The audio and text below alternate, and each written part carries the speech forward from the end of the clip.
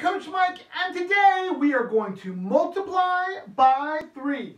Now, it's very important for you to memorize your multiplication facts, but sometimes we get stuck. So here's a little strategy that can help you. I am going to skip count by 3. Watch.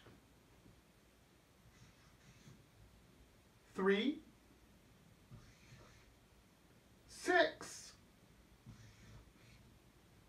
9, 12, 15, 18, 21, 24,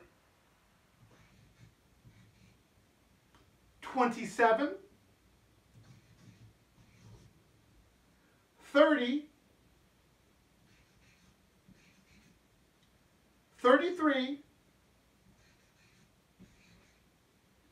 and 36.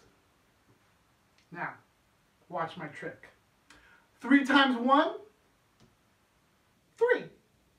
3 times 2, 6. 3 times 3, 9.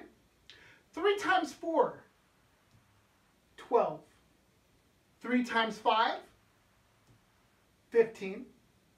3 times 6, 18. 3 times 7, 21. 3 times 8, 24. 3 times 9, 27. 3 times 10, 30. 3 times 11, 33. And 3 times 12, 36. And that concludes our lesson.